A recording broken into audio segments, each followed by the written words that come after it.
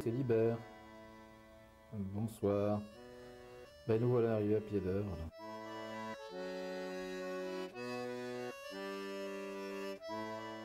Bon ben j'ai vu que sur les listes là, il y avait mon parrain et aussi des, des amis de mes parents de Brive là, qui vont être surpris de me voir ici.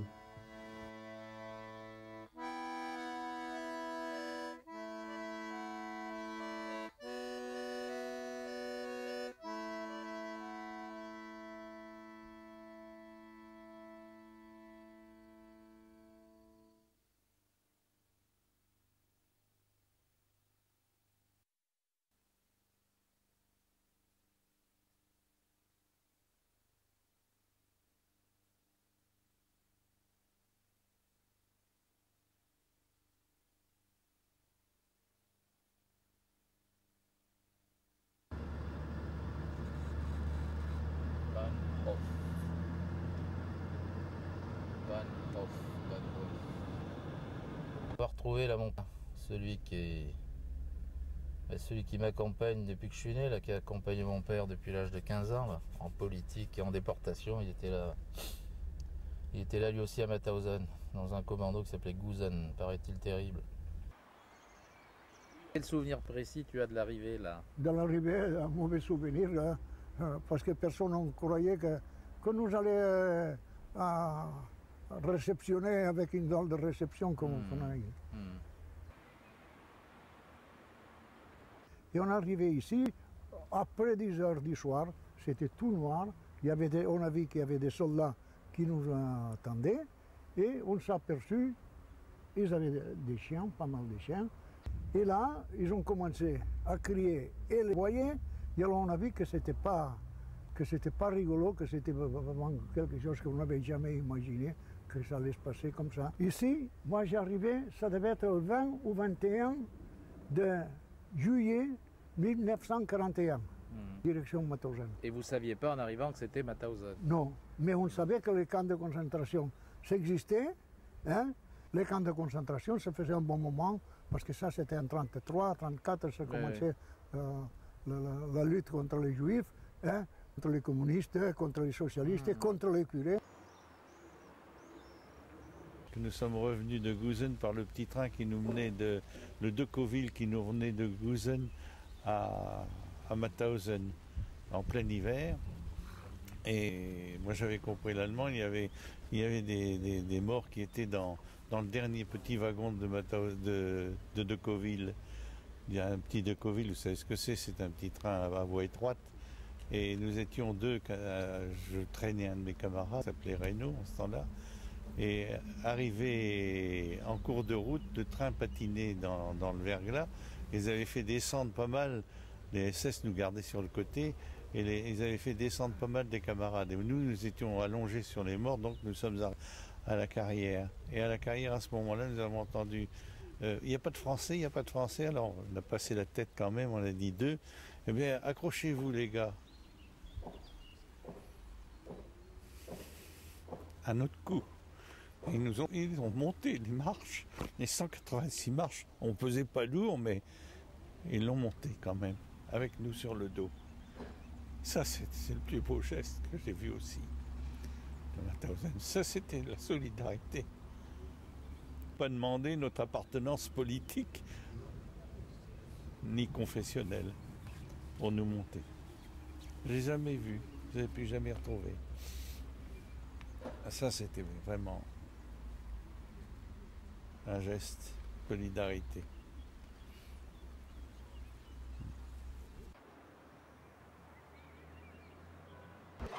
S'il vous plaît.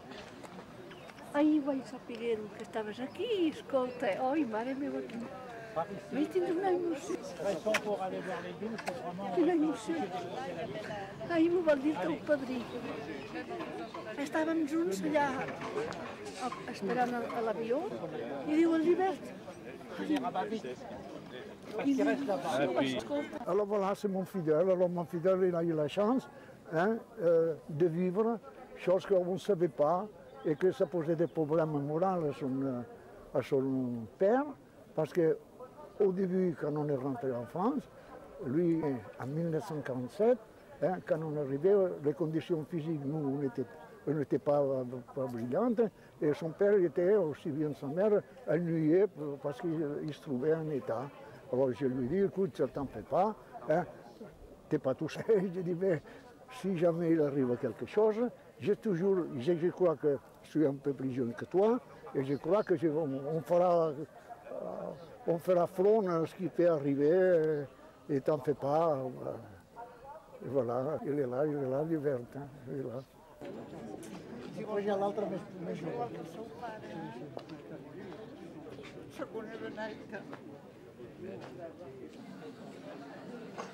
Je viens là, c'est la première fois.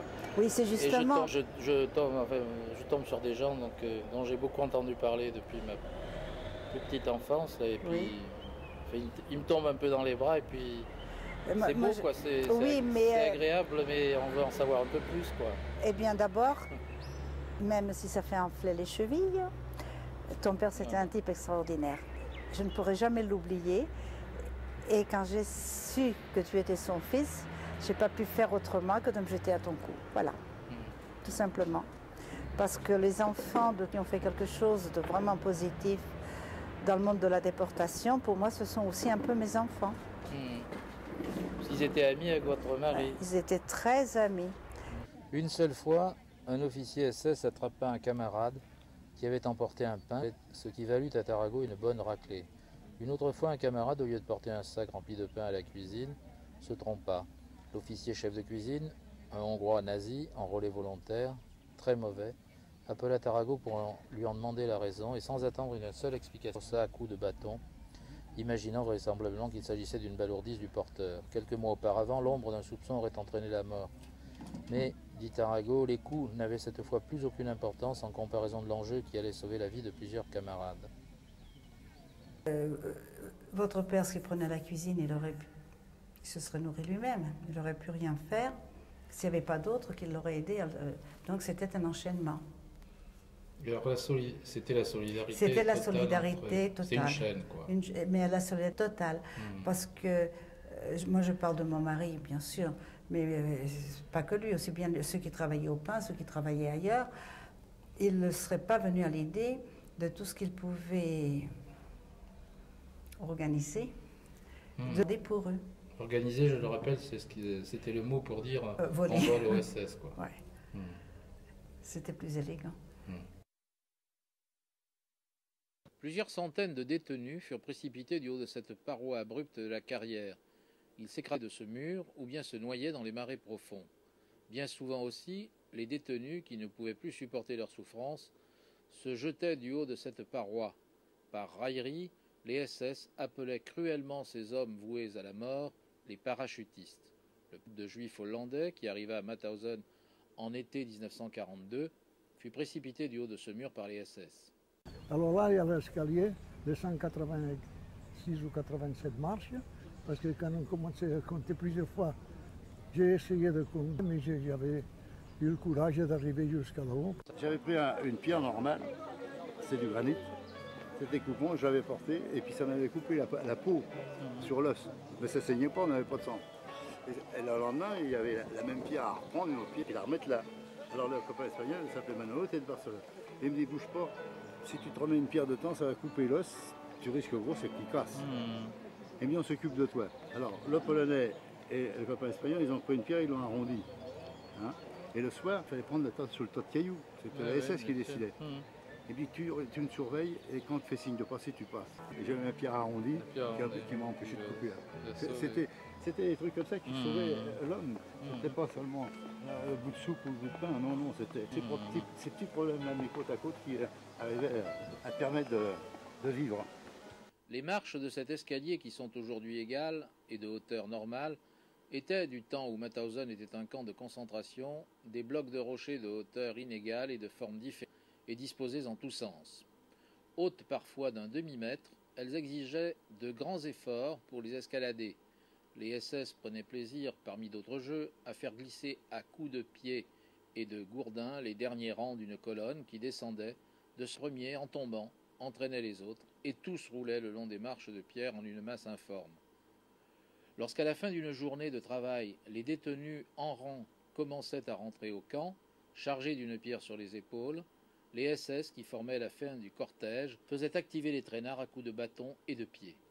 Celui qui n'arrivait pas à suivre terminait ses jours sur cet escalier de la mort. C'est de là qu'après, euh, j'ai parti, enfin, travailler à Guzen, mais on croyait que Guzen, ce serait, on disait, ici c'est mauvais, mais ça ne peut pas être pur. Et on s'est aperçu que là-bas, c'était aussi, aussi mauvais qu'ici, même plus.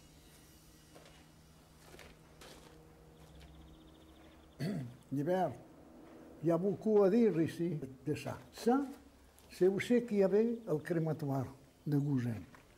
Ça, c'est le crématoire. Et quand ils ont vendu tout ça, il y a une famille italienne qui l'a acheté ces morceaux.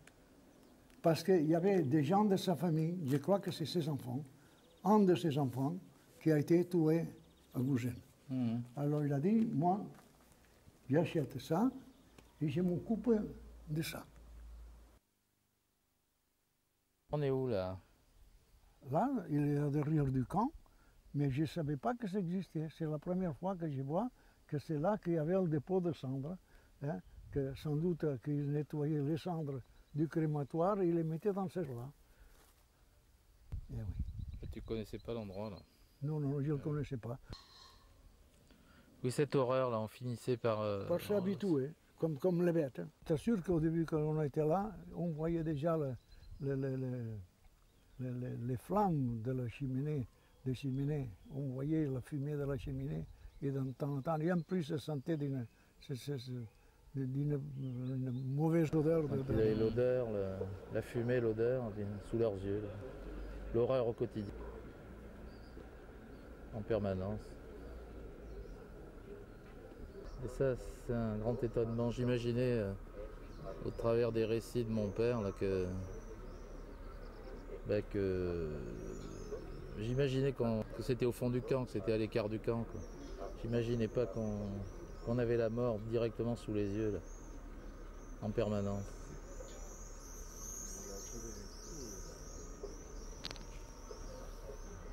Oui, donc c'est là dans cet espace, à Bourg, en janvier 41, je crois. Euh, on a amené tous les déportés du camp là pour une, séance de désinfection, pour désinfecter le camp.